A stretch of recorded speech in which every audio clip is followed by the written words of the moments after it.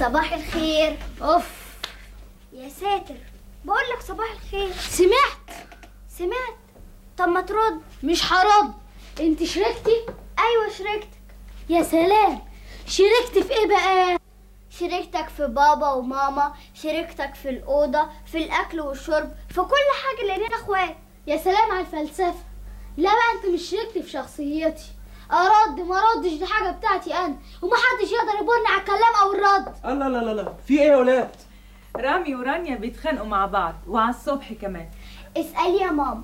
بصب عليه مش عايز يرد. مش عارفة إيه اللي حصل له كده على الصبح. مالك يا رام مالك يا حبيبي؟ زعلان من إيه؟ مش زعلان. بلاش زعلان.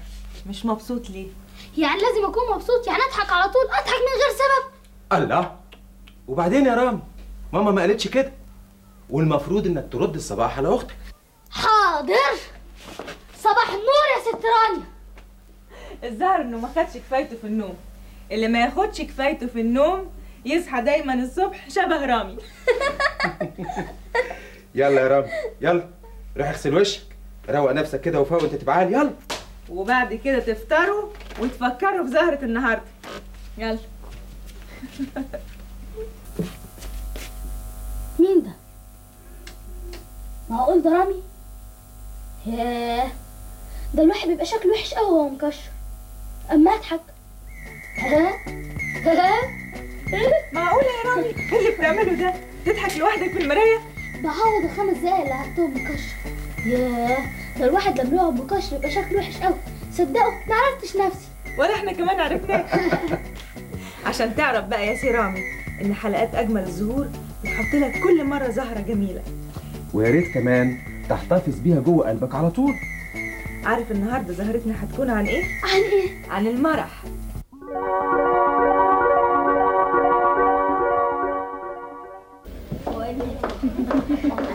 أنا جاية النهارده أعمل تفتيش. مين مكشر؟ مين مش مبتسم؟ مم.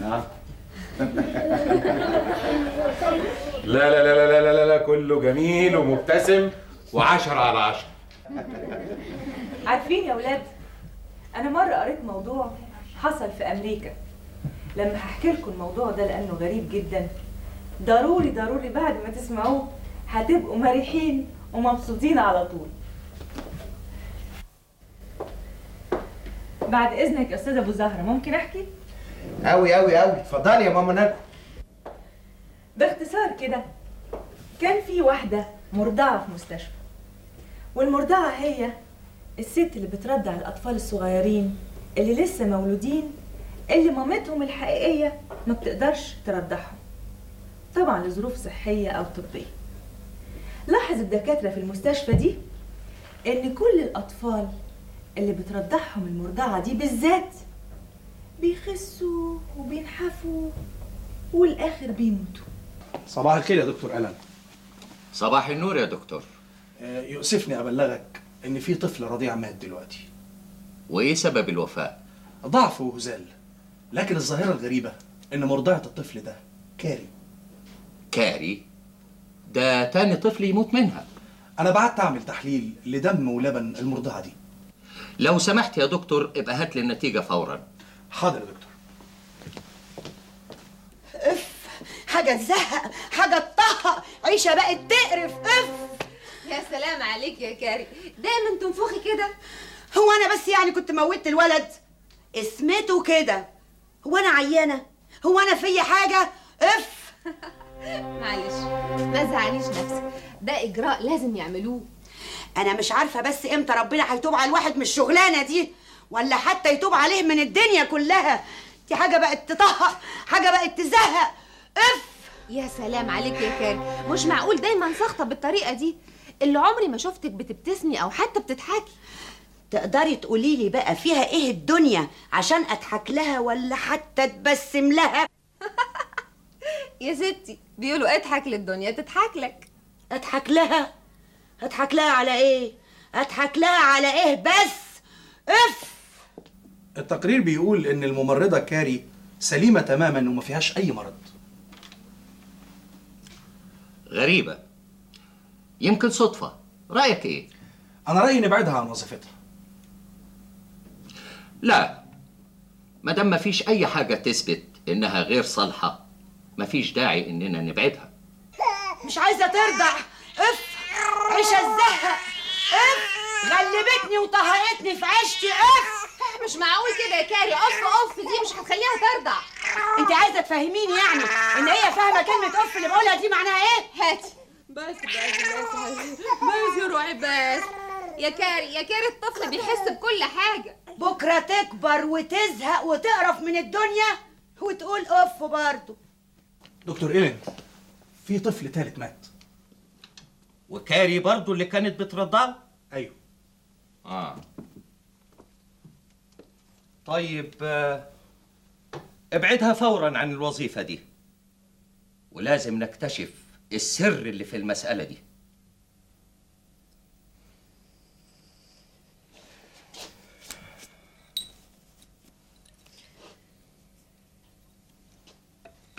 دلوقتي خلصنا كل التحاليل والإشاعات. لو سمحت اديني شريحة زجاجية. اتفضل. حط دي قدام بقك وقولي أوف. نعم. قولي أوف اللي عمالة تقوليها على طول دي. علشان إيه؟ علشان هنحلل الأوف دي. بس إذا سمحت عايزها بغيظ قوي. لا اطمن. أنا حقيقي تملي متغاظة بس مش هكون متغاظة زي النهارده. اف شيء غريب فعلا. مادة سامة على الشريحة الزجاجية. وطبعا كانت كل ما بتقول أوف دي كان بيطلع سم الغضب اللي جواها. فيستنشقه الطفل وبالتدريج يخس ويضعف وينتهي. فعلا. الغضب والحقد بيعملوا سم في جسم الإنسان. صحيح المثل القائل لا تجعل الشمس تغرب على غيظك. أظن بقى بعد ما كلكم شفتوا التمثيلية دي مفيش حد ابدا ابدا هيزعل ولا حد ابدا ابدا هيقول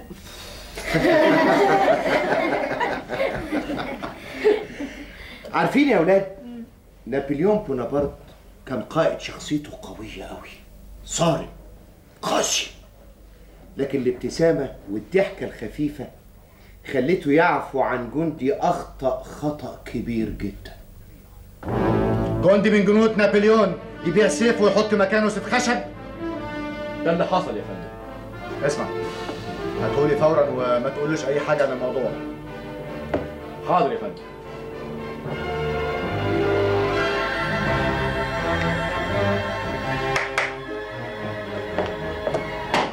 فندم!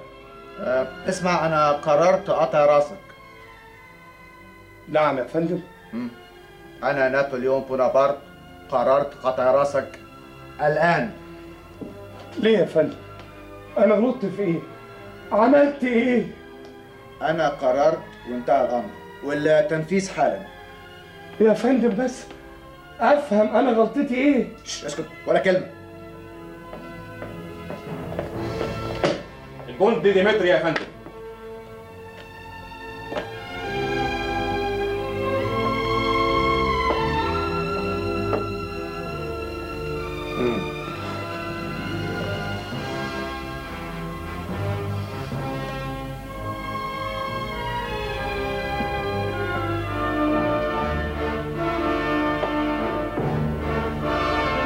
انت يا ديمتري جندي كفء جدا قائدك المباشر بيشكر فيك جدا وبيقول إنك عندك ضبط وربط 100% ملابسه نظيفة سلاحه بيلمع وعمره ما خد جزا متشكر يا فندم.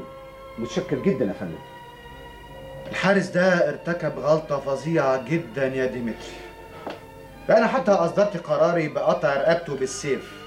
يا فندم يا فندم. أعرف بس أنا غلطتي إيه. اسكت. يا فندم أنا طول عمري في خدمة سعادتك وعمري ما غلطت في سعادتك. وعايزك أنت يا ديمتري تنفذ فيه حكم الإعدام بقطع راسه بالسيف. ودلوقتي حالا. أمرك يا فندم. يلا نفذ. تسمح لي بكلمة يا فندم؟ أقول الجندي ده معروف عنه الأمانة والإخلاص يا فندم. ديمتري أنت هتعترض على أوامري. لا ابدا يا فندم أنا ما بعترضش ولا حاجة.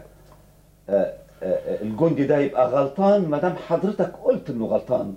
وإحنا بنستسمحك إنك تعفو عنه يا قائدنا العظيم.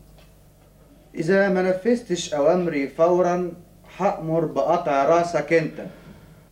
أمرك يا فندم هنفذ الامر بس أقطع راسه فين؟ هنا. على الكرسي ده. أنا بريء. بريء. بريء يا سياده القائد بريء. يلا يا ديمتري. ديمتري نفذ الأمر. أمرك يا فندم. يا رب إذا كان الجندي ده بريء حول السيف الحديد اللي في جرابي لسيف خشب. الحمد لله. الحمد لله. طلع بريء يا فندم. طلع بريء. السيف الحديد اللي في جرابي اتحول وبقى حتة خشب.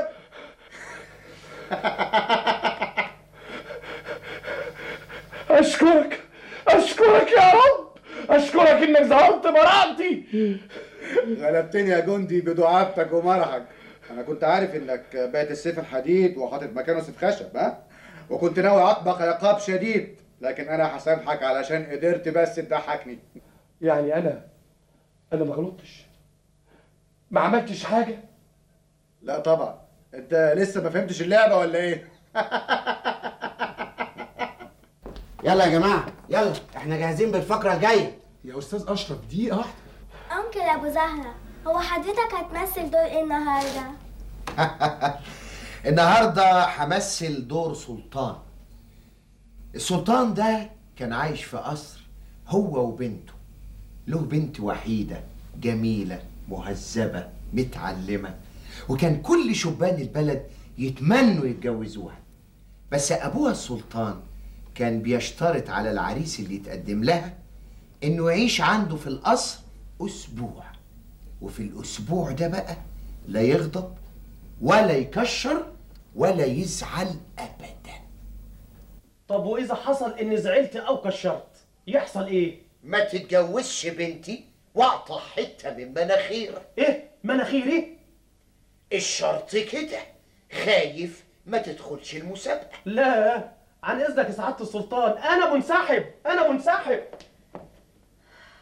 وبعدين يا سيادة السلطان ده خامس عريس يتقدم لنا وسيادتك ترفضه ها أمال عايزاني أجوزها لواحد كشر ما عندوش مرح عشان يتعسها طول عمرها. آه.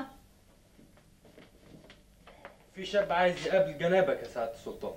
شاب؟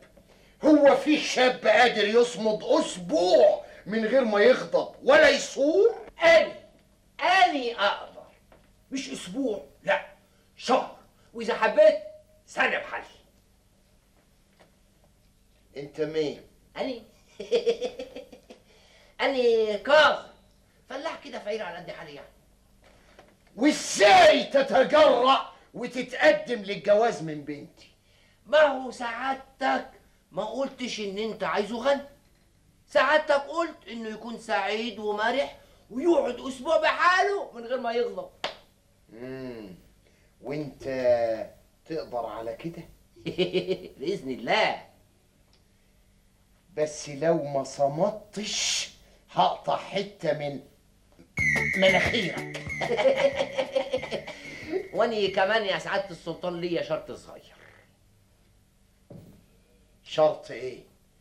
يعني بقول يعني لو في خلال الأسبوع ده حضرتك يعني لو زعلت أو غضبت أقطع حتة من مناخيرك. ليه؟ ليه؟ هو ده العدل يا سعادة السلطان.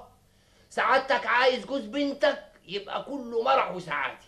فانت لازم يعني حضرتك برضه تكون عندك مرح وسعادة وكلنا كده نبقى مرحين عموما الشرط ده ما يخوفنيش. ده أنا سلطان المرح. موافق. يلا ابتدي التنفيذ. روح. روح اشتغل مع الفلاحين في الأرض. حاضر. حاضر يا جناب السلطان حاضر. السلطان بعت لكم الأكل ده. تاكلوا منه كلكم. ما عدا الفلاح اللي اسمه كاظم اهدى عدني. أوامر السلطان. معترض؟ لا أنا أعترض عليه. متضايق؟ وأنا هتضايق ليه حتى الأكل دي بيسمن الواحد ويخلي الواحد تخين كده. وأنا مش عايز أبقى تخين. وكل حاجة هتملى المعده هاكل دي؟ آه. أنت مالكش عندي أجرة النهارده. ليه يا سعادة السلطان؟ شغلك ما عجبنيش. معلش بكرة يتحسن ويبقى على الأول. إيه؟ زعلان؟ أبي هو سعادة السلطان يقول حاجة تزعل أبدا. السلام عليكم. أهلا أهلا أهلا ست هانم أهلا حاسب اوعى تقدم ناحيتي وانت بلبسك ده. آسف ست هانم أهلا أهلا بست الكل أهلا بعروستنا الحلوة أهلا أهلا. آه بقول يا ست هانم اسمه إيه دي؟ وأنت مالك؟ أيوه صحيح. والله العظيم لك حق طب أنا مالي يعني تاني سخيف قوي قوي قوي بس بس بس يا جزر يا حبيبي يا روحي يا جزر. بس يا اسمه جزر. مالكش دعوة. أيوه صح ماليش دعوة. أصلا أنا عندي كلبة ومسميها فجله اسمه حلو قوي قوي جزر دي. يا رب يا مقرب البعيد اجعلها من نصيبي يا رب. يا مقرب البعيد يا مقرب البعيد. إيه يا بابا ده؟ معقول هتجوزني الراجل ده؟ هو ده معقول. ما تخافيش أنا هفضل وراه لحد ما اخليه يغضب ويصور وأروح قطع حتة من مناخيره. حاسب يا سيادة السلطان ده باين عليه عنيد وناوي فعلا يتجوز نور. يا مقرب البعيد يا مقرب البعيد يا مقرب البعيد يا مقرب البعيد. يا رب اتجوز نور وابقى راجل سعيد وابقى كاظم سعيد. يا ولد يا كاظم. عمرك يا سعاده البيت سلطان بطل غنى صوتك وحش. فعلا أنا صوتي وحش. قوي قوي قوي تعالى هنا. عمرك يا سعاده البيت سلطان إحنا عايزين ناكل جزع. إيوه يا سعاده البيت سلطان أصل دي مش أوان الجزر. مفيش جزر دلوقتي. تحب أجيب لحضرتك يعني حاجة تانية؟ أجيب لك مثلا خيار قرع. لا. إحنا عاوزين ناكل جزر. حاضر. أما نشوف بقى هيعمل إيه. يا بابا ده فاضل يومين والمدة هتنتهي ولحد دلوقتي مش عايز يزعل ولا يتنرفز حتى ولو مرة واحدة. استنى عليا. دلوقتي هنرفزه وأقطع لك حتة من مناخيره. جزر يا سعادة البيه سلطان. جزر؟ جبت جزر؟ إيه يا سعادة البيه جزر؟ تحبوا بقى يا سعادة البيه سلطان تاكلوه إيه بقى؟ تاكلوه كده بالبشاميل ولا تاكلوه مخلل ولا تاكلوه كفتة؟ ده جزر ده. أيوه يا سعادة البيه سلطان جزر؟ أوعى تغضب تاكلوه إزاي بقى؟ إحنا تاكلنا لحمة لب اوعي تغضبي طب روح روح روح. يا مقرب البعيد يا مقرب البعيد أتجوز نور وأبقى راجل سعيد. شوف هو اللي هيغضبك. يا بابا يا بابا أنا خايفة عليك أنت. لعصبك تفلت مرة وتزعل. وهو اللي يقطع لك مناخيرك. يقطع مناخيري؟ ده بعده الفلاح كاظم يا جناب السلطان. خليه يدخل وروح انت. حاضر. أمرك يا سعادة السلطان أمرك. انت النهارده مطلوب منك تهد الحيطة الورانية. وتنظف عشة الفراخ وتحمل حصان في الترعة وتروح المحطة ترمي جوابين وترجع. وبعد كده تفسح جزر وتقص له شعره وترجع تبني الحيطة اللي هديتها وتروي الغيط. كل ده تعمله قبل الديك ما يدن. وماله يا سعادة السلطان؟ بس يعني أنا عايز أعرف هو الديك هيدن إمتى؟ وأنا مالي إيش عرفني. ما تروح تسأله وخليك فاكر النهارده آخر يوم. لو ما خلصتش الحاجات دي كلها قبل الصياح الديك مش هتتجوز بنتي وهقطع حتة من مناخيرك. لا إن شاء الله كل حاجة هتخلص إن شاء الله قبل ما يصيح الديك. عن إذنك سعاده السلطان عن إذنك. اقعد هنا يا جزل اقعد يا نور يا نور. نعم يا بابا. أنا كلفته بشغل عايز أسبوع عشان يخلص. بعد شوية أنا هندهله. تكون أنت مستخبيه ورا الكرسي ده. أول ما أقول.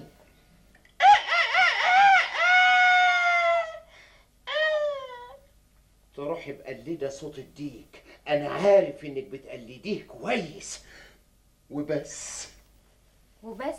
يعني إيه يا بابا؟ أنا مش فاهمة حاجة خالص. يعني خلي الباقي عليا وملكيش دعوة انتي يا مقرب البعيد يا مقرب البعيد. يا رب اتجوز نور وابقى راجل سعيد إلا قول لي يا جزر هتجوز الأميرة نور ولا لأ؟ ها؟ ما بتردش ليه؟ طب ما نشوف. هتجوزي مش هتجوزي هتجوزي مش هتجوزي هتجوزي تعالى يا سيدي كلم سعادة السلطان. ها؟ ده السلطان عايزني؟ أي.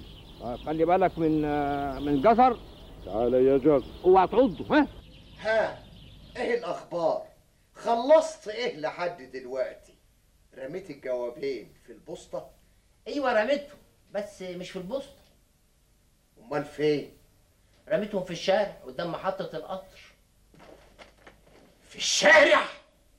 أيوه ما هو سعادتك قلت لي ارمي الجوابين دول في محطة القطر. ما قلتليش ارميهم في البوسطة. إيه؟ زعلت لا لا ابدا. وهديت الحيطة؟ أيوه هديت حتة القصر. حتة القصر؟ أيوه. ما هو سعادتك قلت لي هد الحيطة الورانية. ما حددتش أنهي حيطة بالظبط كده اهو إيه زعلت ها؟ لا. لا ابدا. ونظفت عشة الفراخ. عشة الفراخ. داني نفضتها ووضبتها وخليتها زي الفل. بس الفراخ والديوك مرضوش يخشوا فيها بعد ما نضفتها ليه؟ أنا مش عرفت روح سيادتك اسأل الديوك والفراخ. إيه؟ زعلت ها؟ لا لا ابدا. طب روح كمل شغلك بقى قبل الديك ما يقول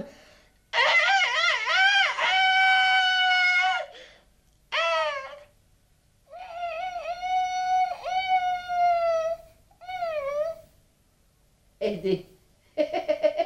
اهدي. وأنا مالي؟ تعالى هنا. إيه؟ رايح فين بقى؟ ما خلاص. اديك ادن وانت لسه ما خلصتش شغلك. يبقى مش هتتجوز بنتي وهقطع حتة من مناخيرك. هو اللي حصل ده يعني صوت ديك ها ما سمعتوش وهو بيقول.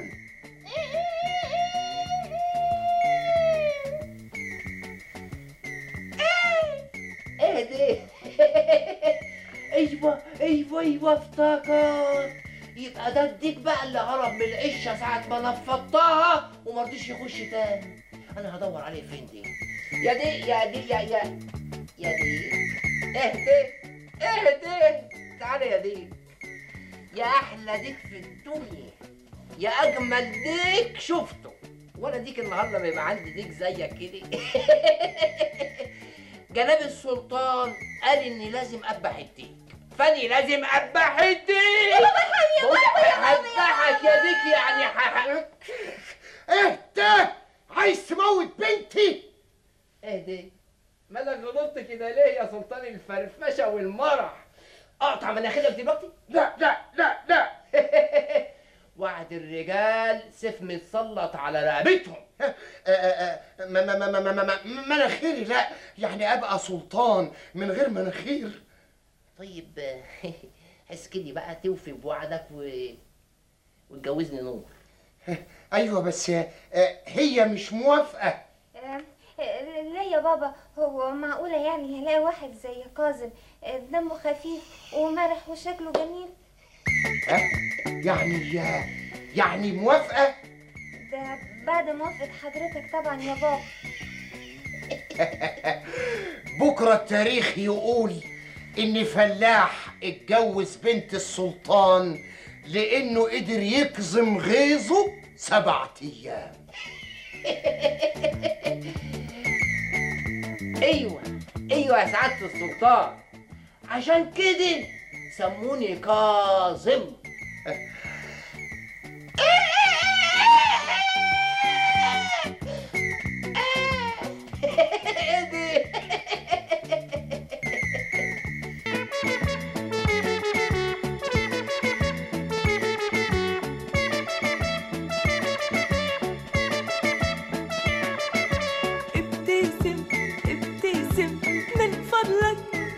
Sim.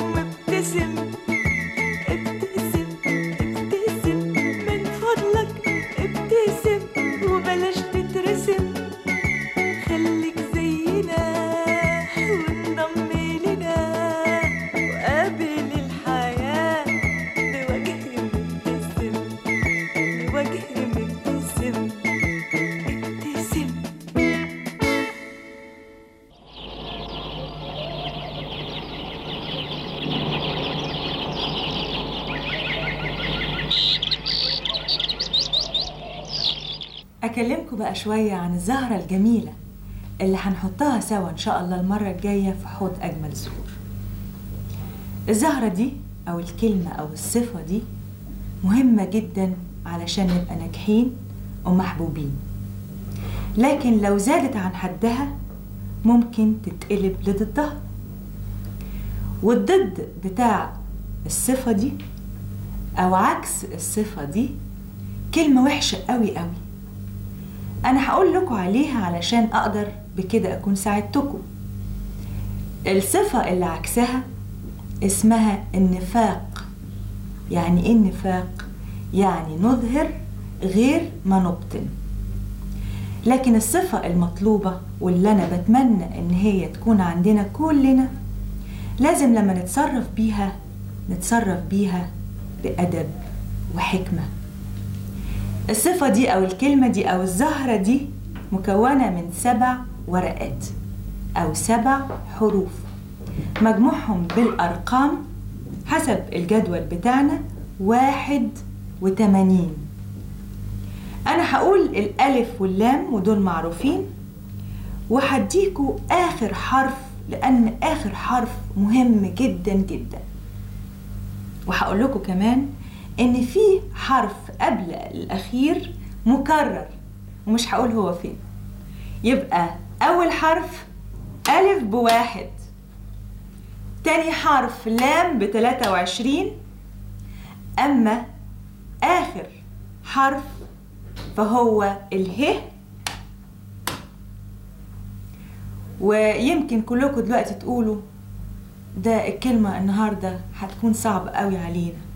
لو أنتوا فكرتوا شوية في كلمة النفاق اللي هي العكس الكلمة المطلوبة وأنا قلت لكم طبعا عليها فكرتوا كويس قوي وركزتوا كده معايا هتقدروا تتعرفوا على الزهرة الجميلة جدا المطلوب معرفتها في أجمل الزهور.